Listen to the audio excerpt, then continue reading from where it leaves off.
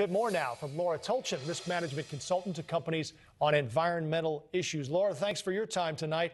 Um, let's. Uh, you heard our first guest there. Uh, any response to what he thinks about how this is going to increase costs? You're dealing with this every day with businesses. Absolutely. Good evening, Joe, and happy Earth Day.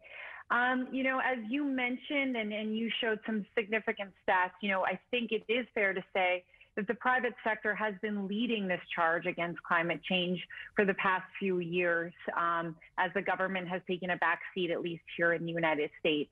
We've seen significant pledges by major companies in this area, you know, Uber, FedEx, GM, Volvo. It's no longer just the Teslas or the niche disruptors in this space choosing to take real action against climate change. You know, I think it's fair to say that the disruption has already happened and we are moving from a private sector standpoint towards fighting against climate change and managing climate risk.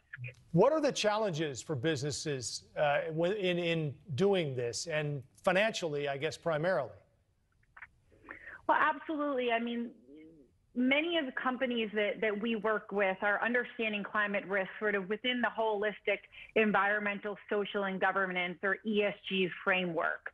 You know, there are many challenges in really identifying where climate risk lands um, how to quantify it and how to manage it within a framework that's also looking at things like, as you mentioned, job creation and good governance practices. Mm-hmm. Some of these things are frankly trade offs, and finding a, a clear, consistent way to measure those things can be quite difficult. What do you think will be the biggest, uh, most visible change that will be obvious if this thing proceeds as planned or gets even close over the next nine years? What's something tangible we can look at and say, wow, look at this?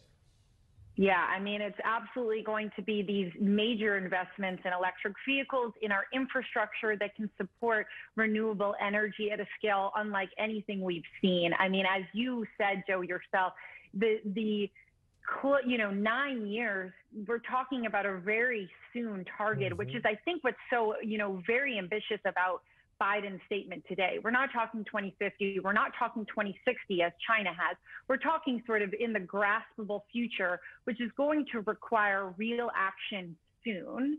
Um, and also really highlights the urgency of this matter. We don't have till 2050. We don't have till 2060 to fight climate change. This is today. So is it more electric cars? Is it more wind turbines? What are we going to see and notice the difference? I think it's you know, it is all of those things. It's our national grid from an electricity perspective. It is transportation. That is absolutely going to be a huge investment. Electric vehicles, public transportation. I think, you know, there is the, the potential here to really change the way we, we live our lives and consume energy um, in the very short near term.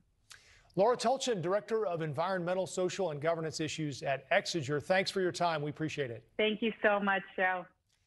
As Missouri